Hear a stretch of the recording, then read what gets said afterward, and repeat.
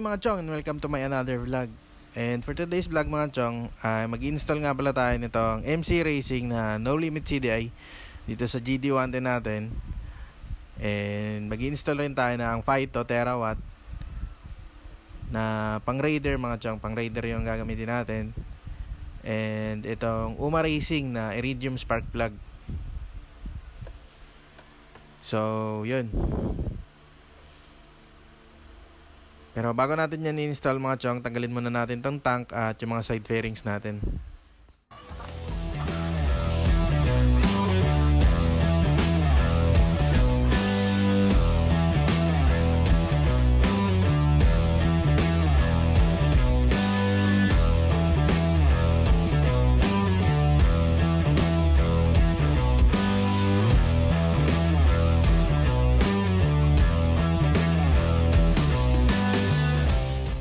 And yun mga chong, tapos na nga natin mahubaran tong motor natin ano.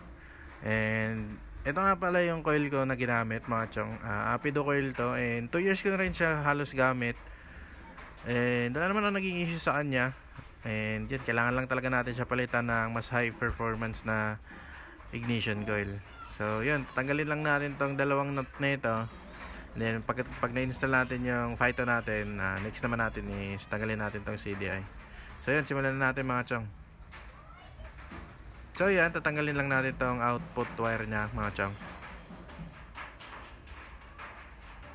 And pag natanggal natin to, next natin yung dalawang nut. And yun mga chong, natanggal na nga natin tong Apido ignition coil natin. No? And yun, unbox lang natin tong Phyto Terawatt rin natin. So yun mga chong, ano, uh, pang Raider 150 nga pala tong ginamit natin dahil ito yung mag-fit dito sa GD natin. Eh, dapat talaga mga chong ano eh, yung Phyto 7400 sana yung uh, pipiliin ko kaso may nakapagsabi nga sa akin na yung, yung 7400 daw is good lang kapag stock CDI. And kapag magre-racing CDI ka, ito daw Phyto Terawatt yung gamitin mo kasi pwede siya pang racing CDI. Kasi kapag yung 7400 yung ginamit mo nang naka-racing CDI tayo, eh magiging pigil daw yung takbo. Kaya ito yung pinili natin, yung Phyto Terawatt. So yan, unbox lang natin to mga chong.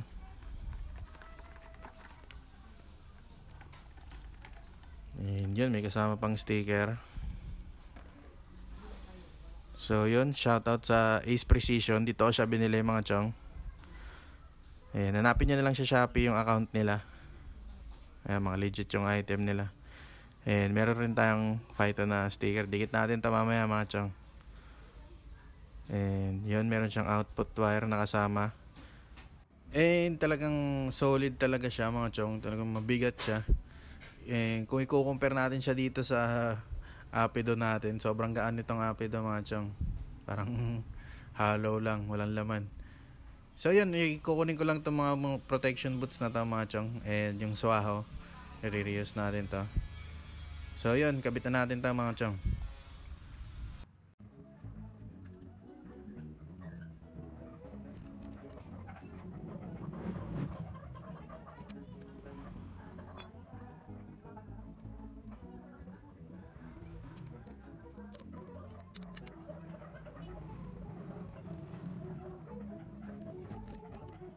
And dyan mga chong, na-install na natin yung Phyto Terawatt natin. And next naman natin is kakabitan natin itong high tension wire natin. So hindi ko naman papakita yung process mga chong kasi wala maghahawak ng camera. And yan mga chong, nakabit ko na nga itong Phyto Terawatt natin and yung high tension wire niya. So next natin is yung Uma Racing na Iridium Spark Plug naman natin yung install natin mga chong. And yan mga chong, tatanggalin lang natin yung luma nating spark plug.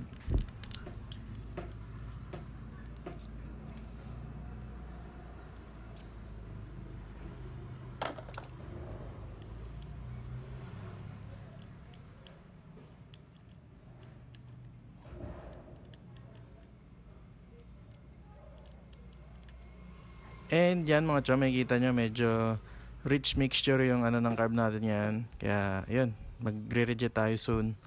And yun, kabit na natin tong Uma Racing na Iridium Spark Plug natin mga chong. And ito yung pinili kong uh, Iridium Spark Plug mga chong kasi medyo maganda yung mga reviews na nakita ko about dito sa uh, Uma Racing na Iridium spark plug. And 3 electrodes na rin to mga chong. Kaya yun, testing natin siya kung goods ba itong gamitin para sa GD natin. Kaya yun, install na natin to mga chong.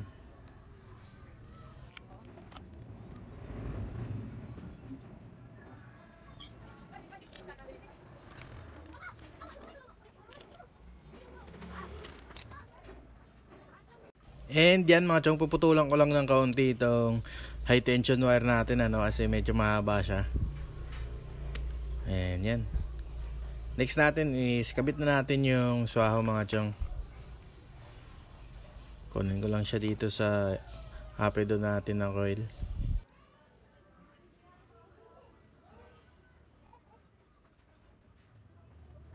And medyo matagal-tagal ko rin to nagamit tong apedo coil natin mga chong. 2 uh, years din, 2 years ko rin siya nagamit. Kaya yun, talagang kailangan na palitan ng mas high performance. At saka ano na rin, preparation na rin mga chong para pag nagpalit na tayo ng block, nag 57mm na tayo, eh onti na lang yung mga gagalawin natin dito sa motor natin.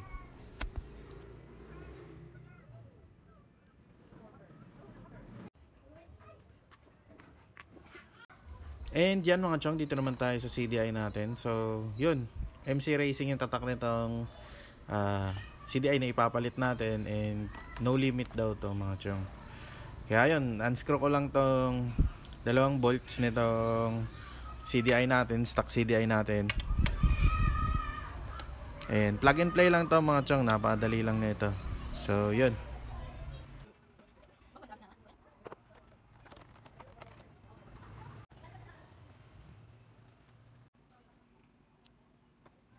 And yan mga chong, tapos na nga natin may install tong no limit CDI natin at itong 5 terawatt natin at yung UMA Iridium spark plug natin. So yun, bago matapos yung lahat mga chong, didikit ko muna yung sticker natin syempre. Yan. Didikit muna natin tong sticker natin.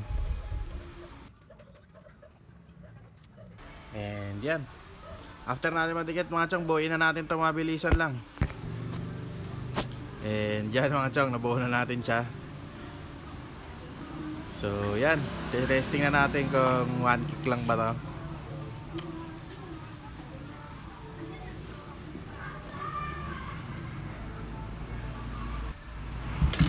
So, yun. One kick lang siya mga chong. Cold start to mga chong. Malamig pa makina natin yan.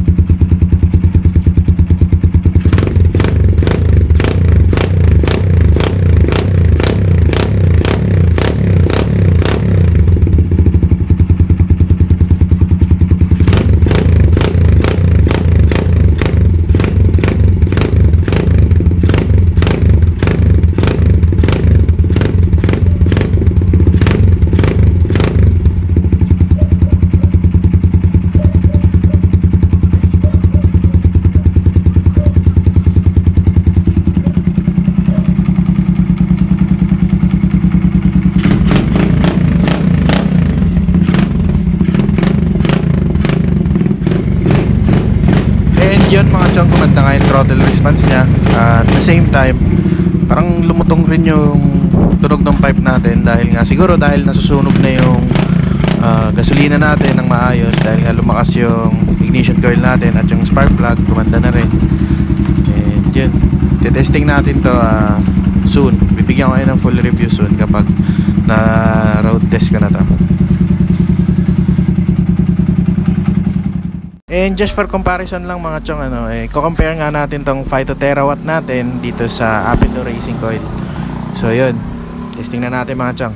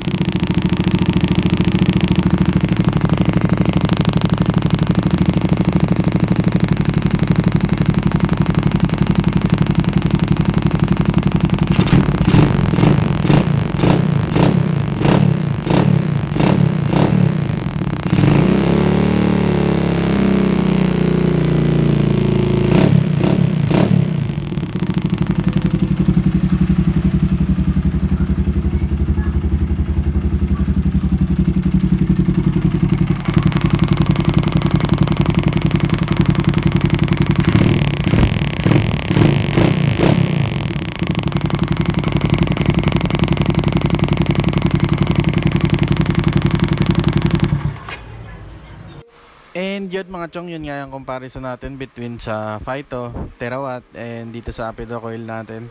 So nakita nyo naman siguro, and kayo na nagbahalang humusga kung ano sa tingin nyo yung maganda gamitin. And yan mga chong, kung nagustuhan nyo tong content na to, please leave a like, comment, and subscribe. And also, don't forget to click the notification bell mga chong para ma-update kayo sa mga susunod ko pang i-upload ng mga videos. And yun, siya nga pala mga chong, ano, maraming salamat rin pala sa mga nag-subscribe. Yun, malaking tulong sa channel yung pag-subscribe nyo. And kung umabot ka sa point na to, yun, solid ka. Maraming salamat sa pag-stay tuned dito sa video natin ginawa. Kaya yun, maraming salamat sa panonood mga chong.